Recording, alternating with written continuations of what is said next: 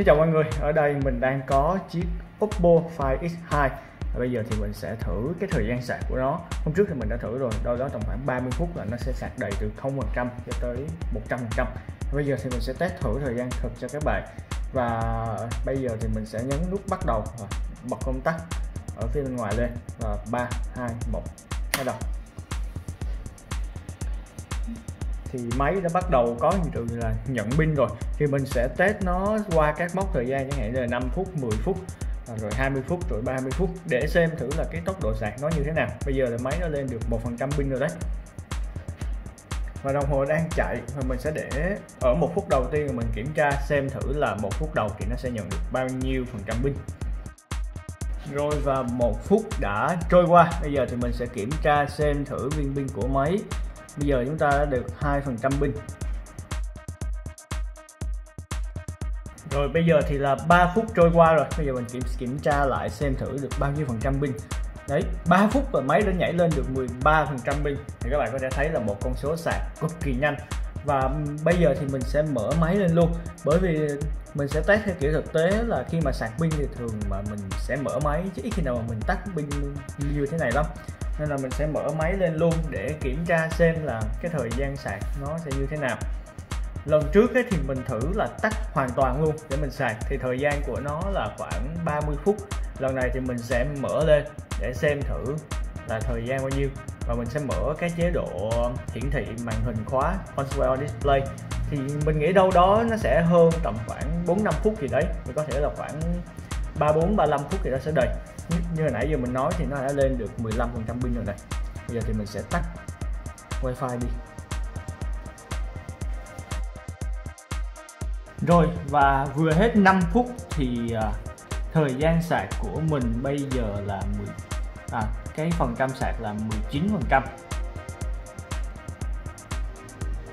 Rồi mình sẽ để tới 10 phút để mình kiểm tra thử là bao nhiêu phần trăm nhé.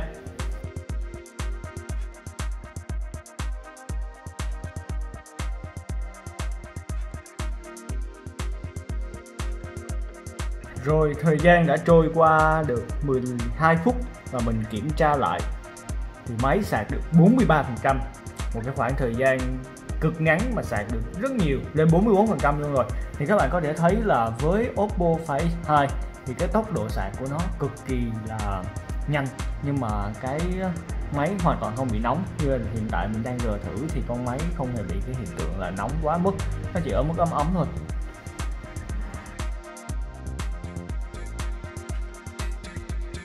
Rồi và mốc thời gian 15 phút vừa đi qua thì mình kiểm tra thì máy đạt được 54% pin.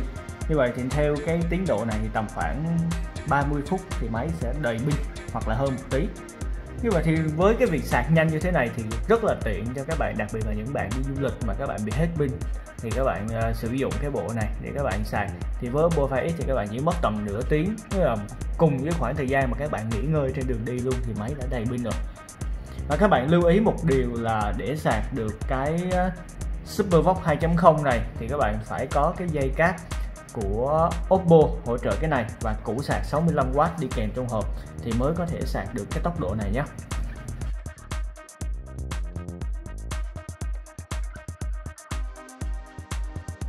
Rồi, và bây giờ là 20 phút sạc thì sau 20 phút sạc thì máy đạt 64% thì bây giờ mình đang đụng máy thì máy vẫn không quá nóng.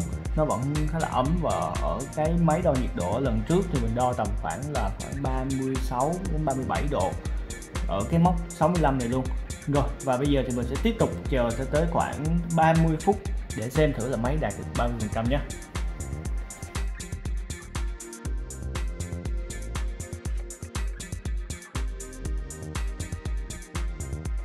Rồi, bây giờ mình vừa tới vừa qua mức 25 và chuẩn bị qua 26 phút thì máy đạt được 78% pin. Và còn khoảng 5 phút nữa là tới 30 phút sạc thì để xem thử máy đạt khoảng bao nhiêu phần trăm pin nhé.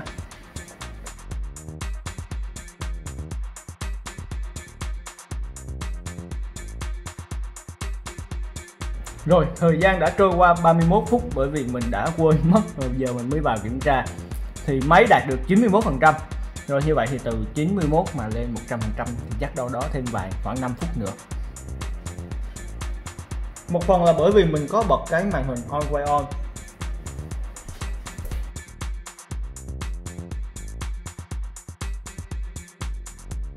Rồi bây giờ là 35 phút thì máy đạt được 6, 96% pin. À, Một phần lý giải cho cái việc là máy sạc lâu hơn cái ờ, hồi trước mình sạc. Đó là đó là do mình để cái màn hình chờ ở đây. Và cái màn hình đó nó là cái màn hình màu luôn.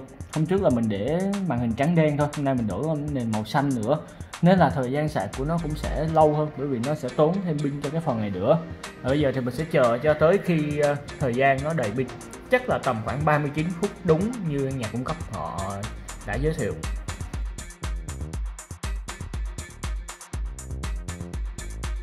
Rồi như vậy là máy nó ra 100% đúng 39 phút Thực ra là sớm hơn khoảng 38 phút 40 mấy giây. Như vậy là um, hoàn toàn hợp lý cho với cái khoảng thời gian mà Oppo đã đưa ra cho với chiếc uh, Oppo Find X2 khi mà cắm sạc. Như vậy thì các bạn chỉ mất nhiều nhất là 39 phút và sẽ còn ít hơn nữa tùy vào cái việc mình sạc như thế nào ngày như là mình để có cái màn hình chờ thì nó sẽ tốn thời gian lâu hơn và mình tắt luôn đi hoàn toàn thì nó sẽ sạc nhanh hơn nữa. Và như vậy thì thật sự Oppo Find X2 sạc rất nhanh và bây giờ thì máy hoàn toàn không có hiện tượng quá nóng, chỉ ấm ấm vừa vừa thôi. Như vậy là rất là chấp nhận được và Oppo hoàn toàn đảm bảo về cái sự an toàn khi mà các bạn sạc nhanh như thế này. Rồi, đó là một ờ, cái video nhanh về khả năng sạc của Oppo Find X2 cảm ơn các bạn nhé.